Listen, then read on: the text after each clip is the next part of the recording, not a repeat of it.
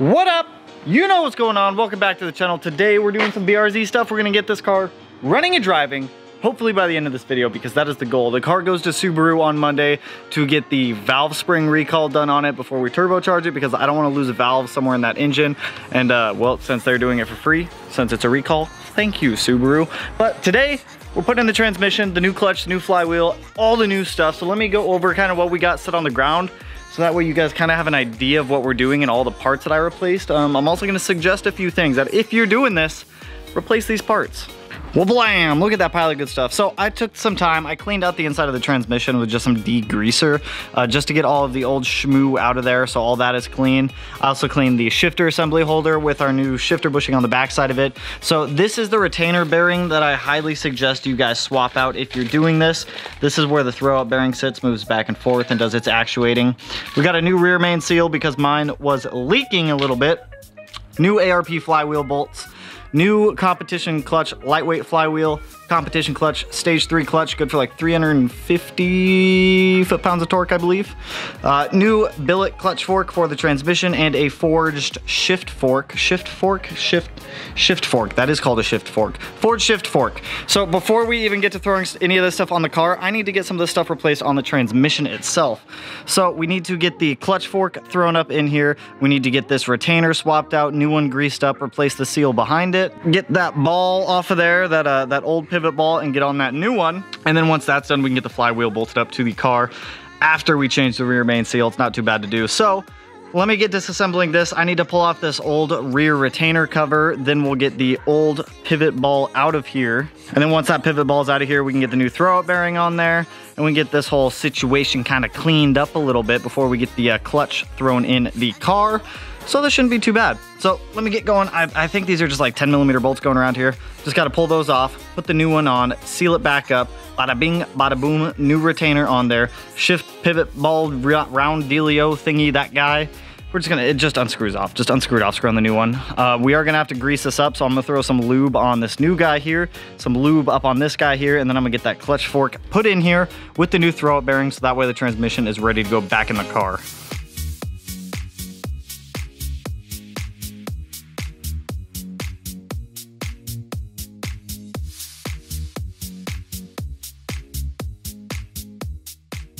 So inside the trans, everything is good to go. The new clutch, or I, not new clutch, the new retainer is on back there. We have our new throwout bearing and our new clutch fork. Everything is very smooth if you see there. I went ahead, I threw a little bit of lube onto the input shaft as well, just because uh, that'll make life a lot easier for us. We got the dust boot thrown back on for the top of the shift fork. So transmission wise, this thing is good to go. Now, if you're doing that rear retainer kind of like I did, I do suggest that you put a new seal on there. I just use some of this sealant that I had laying around the garage. That works uh, just fine. It's just like this Permatex right stuff, works awesome, creates a seal, heat sensitive, you know, all that good stuff. And then here is our old retainer shaft that kind of came off the car. As you can see there, it's like, a, it's lived a good life, lived a good life. New one is now on the car. So I'm gonna hop under the turd. I'm gonna get the new rear main seal on. If you don't know how to change a rear main seal, it's pretty easy. You just pop out the old one with like a pick, then you pound the new one on. Super simple. Once I get the new rear main seal on, Melanie is going to help. She is gonna help me hold the crank on the engine so that way I can get the new flywheel on. Once the new flywheel's on, we can get the actual friction disc and the pressure plate bolted up to the engine, get the transmission on, reverse process, get everything else on, hopefully be done with this in the next couple hours because it's hot.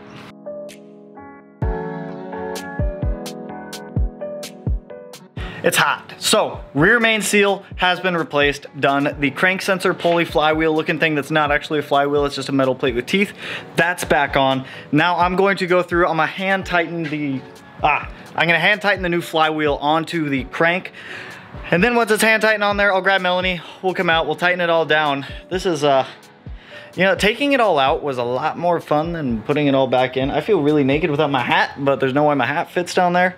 So uh, let me show you guys the flywheel that I decided to go with. It is competition. Now when you're doing this, make sure that you keep your greasy little fingers off of the surface of the flywheel, it is a good idea to have like a can of brake clean, some safety glasses while you're under there, spray it down, take a rag and wipe down the flywheel. So that way you're not getting like little grimy fingerprints all over it because that can wear your clutch faster because the friction material and the flywheel, they just, they won't get along.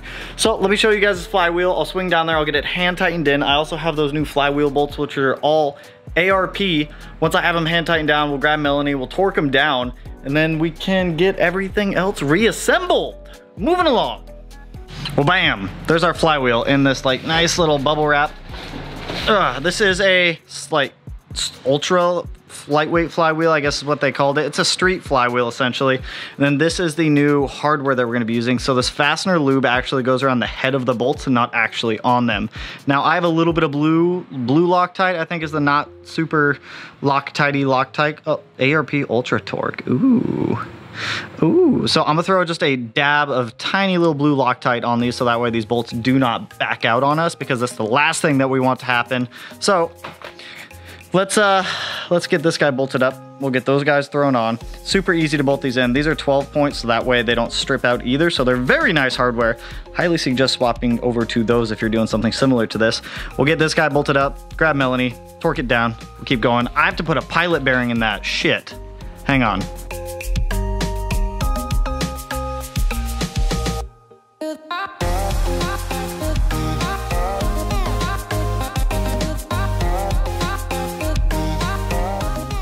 Straight. All right, so if you are gonna do this, grab a socket that is the same size as the outer diameter of the pilot bearing, stick it on there. Make sure this is straight when you're putting this in. If this is not straight, your flywheel will be like all sorts of, it will not, just don't do it. Just make sure it's straight going in. So with our pilot bearing now on here, we can uh, get this guy bolted up. So I'm gonna throw on these uh, ARP studs onto our flywheel. We'll get the flywheel bolted up. After I get it bolted up, we'll grab Melanie and we will torque it down then we can get the clutch disc on here and the pressure plate and then start getting the transmission to align back up with all this. That'll be the fun part. Just wait. Just you wait.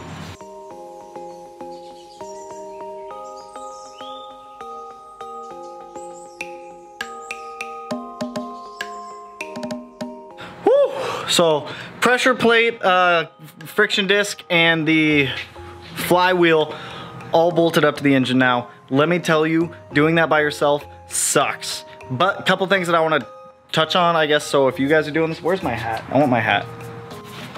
Ah, much better. So a couple things if you are doing this. A, when you go to bolt the flywheel back up, do it in a star pattern. Hand tighten them all in, then go over them with a like a normal ratcheting wrench, then go over them with a torque wrench. Have someone hold the crankshaft for you so that way you're not getting the flywheel just spinning on you as you're doing it. Second, utilize that clutch alignment tool to hold that friction disc into the the, the, the spinning bear, the spinning bearing, oh my God. The pilot bearing, Jesus. It's hot, I am like losing my mind right now. So use that clutch alignment tool to hold the friction disc into the pressure plate. Once it's in the pressure plate, not the pressure plate, the flywheel, Jesus.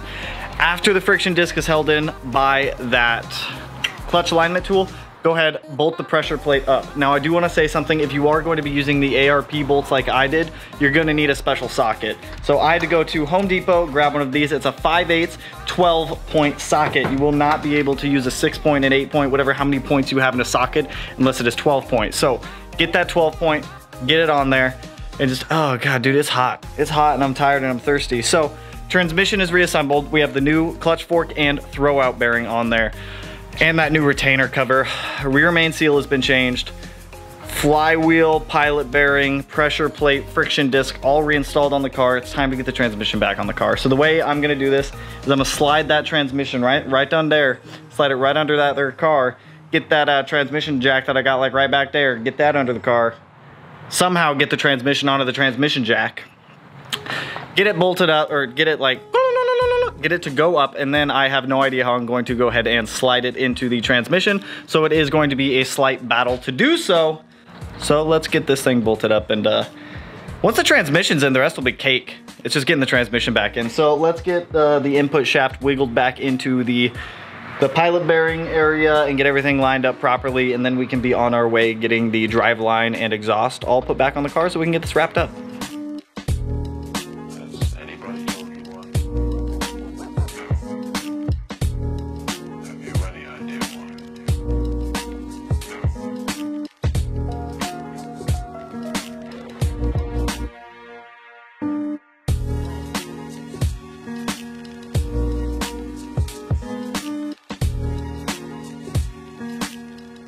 I don't know how much of the, all that you guys just saw. It's dark outside now.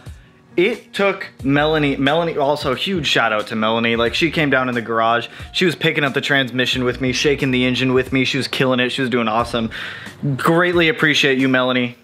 I love you. Um, secondly, four hours, four hours to get that transmission to go into the engine and oh my God, was it awful. So if it is like one degree off, like if the engine is one degree off, if the transmission is half a degree off, doesn't matter. Doesn't matter, it's not going in. Finally, I ended up taking apart the pressure plate, pulled the uh, friction disc off, realigned everything, and then after another solid, I don't know, hour and a half, finally got it to slid in, went around, tightened down all of the bolts that hold the transmission to the engine. I got the starter put back in because those are also two engine bolts and uh, also got the rear carrier back up in there for the transmission. Oh my God. Dude, I am like, I'm so tired. I am so tired just trying to get that transmission back in the car. Woo! I don't even know if it's all gonna work. I don't even know if it's all gonna work. Matt, is the car even gonna work after all this? It's a broken! I honestly have no idea if this is gonna work or not. We kind of like really shoved the transmission in there. Uh, the transmission seems to be leaking a little bit of gear oil, so I'm gonna put some gasket maker on that to uh, fix that. But uh, I'm gonna get going on getting more of this stuff back in. The next thing I wanna get back in is the shifter assembly inside of the car and get the slave cylinder back on there. And then I wanna test the transmission to make sure it'll actually go into gear and that the clutch is actually engaging properly. So let me, uh, let me get the slave cylinder bolted back up. Let me get the shifter put back in the car and we'll make sure that everything is working hunky-dory because if it's not, then we gotta take the transmission back out and I don't wanna do that.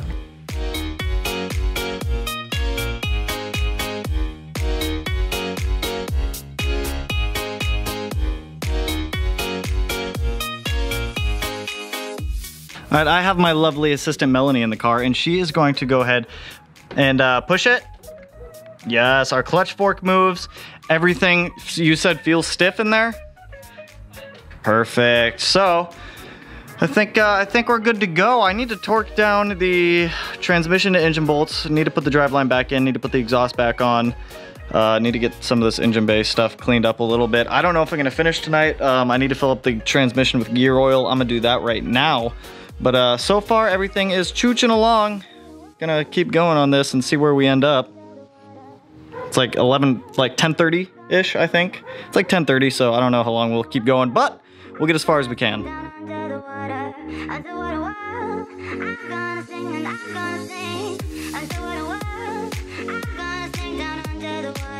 Okay, update. Oh God, I'm hatless again.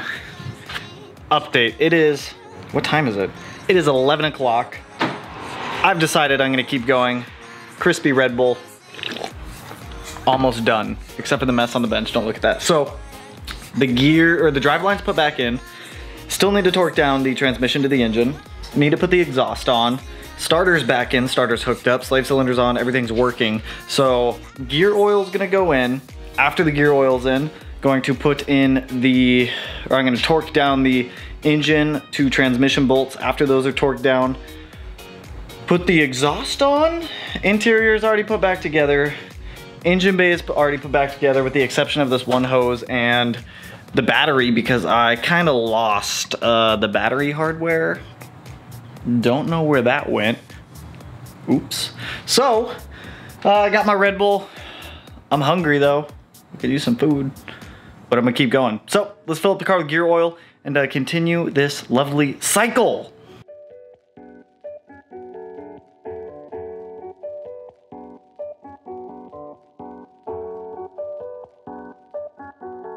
Okay, everything should be good to go at this point. The drive shaft is in, the exhaust is on, the battery's connected. Everything in the engine bay is like put back together from what I can think of. Last thing to do is while the car's on jack stands, I'm going to make sure it can start. I'm gonna make sure it can start because if it can't, I mean, uh, I don't even wanna think about that. So we have power, we have keys. Let's see if this thing will start. Not gonna lie, I'm a little nervous if this thing is actually gonna work or not. Okay, so we are in the cockpit. Oh wow, those MTEC shift springs feel real nice. We are in neutral. Things are happening. All right, let's see if we can start it, I guess. Oh, that's not a good sign now, is it? Okay, well, hang on. Let me let me play with things a little bit. We're in a finite space. Dude, it disappeared! Shit dropped on the fucking ground. That's what I thought, but there's bolts right there, there's bolts over there, there's bolts up there, there's bolts in there. There's literally bolts up there. Will it start? We have power. That's good, right? Oh! Why will my car only go into third? Ah! Why is it only going to third gear? Man, you fucked something up. I mean, oof. You really oofed something. Only- are the wheels spinning? No, they're not, are they? No, Why is it only going to third gear? that's a good question. what is that sound, dude?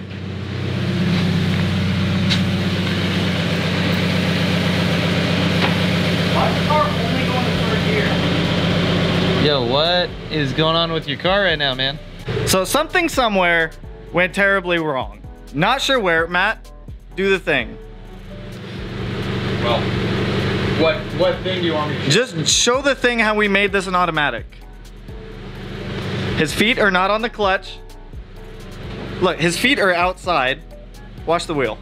Well, watch, watch, shifting. Look. He just put it in first gear, no clutch, wheel spinning. Oh, watch. Something clearly is not right. Yeah, I'm gonna have your I'm gonna have this towed to your work. Can you do my can you do my valve spring recall and at the same time fix my clutch? Can you just kind of fix it? I mean I feel it. I feel it doing the actuation. I feel yeah, I felt the clutch doing something, but it won't go into gear. Man, let me like peek up here at the at the dealio again. Dude, what is going on? I broke the BRZ. Oh, when I push in the clutch, you get angry. Really? Yeah, watch. Clutch in. She gonna get all sorts of angry. Nothing's happening. Well, you know what? She ain't angry right now. nothing. Nothing is happening. All right, it's like 1 a.m. Don't know what's going on with the car. Uh, Matt and I have been playing with it for a little bit. We think something in the system just isn't lined up fully proper or something, you know. I don't know. It goes to Subaru next week to get the valve tray or the valve recall done anyway, so the engine's gonna be pulled. So I'm gonna have Subaru take a look at it. I don't wanna fight with the transmission again to try to get that thing in or back off. So I'll have them play with it. We tried bleeding the clutch. We tried checking the actuation of the slave cylinder on the clutch fork and just nothing. No idea. No idea what's going on with it.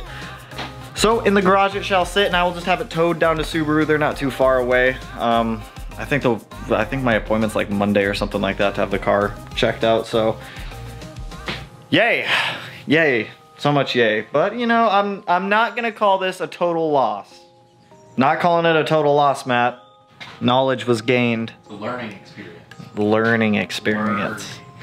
So I'm gonna end it there. It's 1 a.m. Um, I have to edit this video in the morning, so the day I'm editing this is the day it goes live, which is the day you guys are seeing it. So if you guys have any uh, ideas of what the issue might be, feel free to drop it down below. Um, we checked the access panel. We can see the throwout bearing engaging and actually sliding on the new shaft. Not quite sure what's going on, but if you got any ideas, drop them down below. But I'm gonna end it there. So if you guys like the video, you know what to do. Go ahead, hit that like button and turn it blue like this vice on the bench because it's the only blue thing near me. And if you're not already subscribed to the channel, hit your boy up one of these corners. No idea which one I'm doing doing yet, doing tonight, doing, I don't know. You know what, you know what I mean. But with that, I will catch you guys in the next one. Peace out, homies.